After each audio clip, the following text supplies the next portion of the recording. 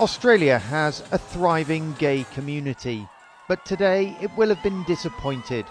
The Prime Minister, Tony Abbott, blocking the possibility of a free vote in Parliament to legalise same sex marriage. The Coalition has had a settled and strong position on this for quite some time. Uh, we decided to keep faith with the position we took to the last election. But he did offer the possibility of a referendum on the matter if he wins the next election. Obviously, the fact that uh, uh, we are disposed to put it to the people in the next term of Parliament uh, shows that we are open to change.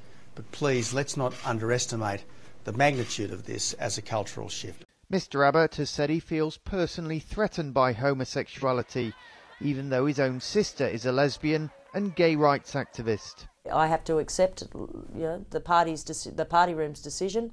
But uh, the Prime Minister has, has come out after that and he's talked about a plebiscite, talked about putting this issue to the Australian people. And if that's what it takes to get it through, then I'm all for that. Polls show Australians clearly support legalising gay marriage.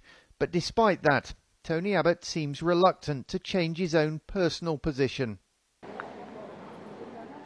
Ireland and the United States were the latest countries to legalise gay marriage.